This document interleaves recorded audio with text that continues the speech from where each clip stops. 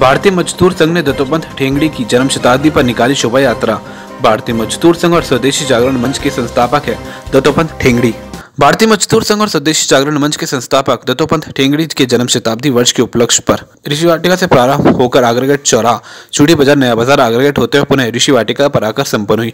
शोभा यात्रा में बड़ी संख्या में अजमेर और उसके आसपास के क्षेत्रों के आर्थिक समूह के कार्यकर्ताओं ने हिस्सा लिया। आर्थिक समूह के विभिन्न संगठन के पदाधिकारी ने शोभा यात्रा के दौरान लोगों को दत्तोपंत टेंगड़ी की आर्थिक नीतियों से अवगत कराया। स्वदेशी जागरण मंच के अजमेरू के संयोजक संत कुमार और एस के भोलानाथ आचार्य ने बताया कि दत्तोपंत ठेंगड़ी के जन्म शताब्दी के उपलक्ष्य पर वर्ष भर में कार्यक्रम किए जा रहे हैं।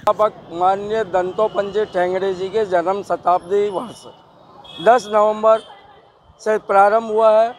हम 10 नवंबर 2020 तक साल भर कोई ना कोई कार्यक्रम करने का लक्ष्य लिया है। इसी कड़ी में आज हमने दंतोपंज ठेंगड़े जी की जन्म शताब्दी में जो है शोभा यात्रा निकाली है। उसमें भारतीय मजदूर संघ के साथ साथ जो इन्होंने छः आर्थिक समूह की स्थापना की थी, जिसमें किसान संघ, स्वदेशी जागरण मंच, ग्राहक पंचायत ग्राहक पंचायत समेत छः समूहों की रैली निकाली है।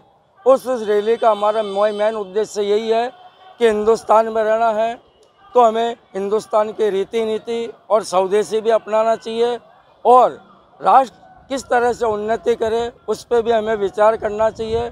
कि जो ठेंगड़े जी ने हमें संदेश दिया है कि सर्वप्रथम राष्ट्र हित, फिर उद्योग हित और फिर मजदूर हित।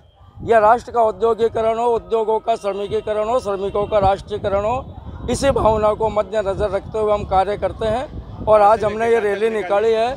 रैली जो है, ऋषि वाटिका से हमने प्रारंभ करके टेलीफोन एक्सचेंज, नगर निगम, चूड़ी बाज़ार, नया बाज़ार, चौपड़, नसिया जी से होते हुए पुण्य जो है ऋषि वाटिका में समाप्त की है आपका नाम? भोलानाथ आचार्य प्रदेश उपाध्यक्ष एवं संभाग प्रभारी भारतीय मजदूर संघ। में काम कर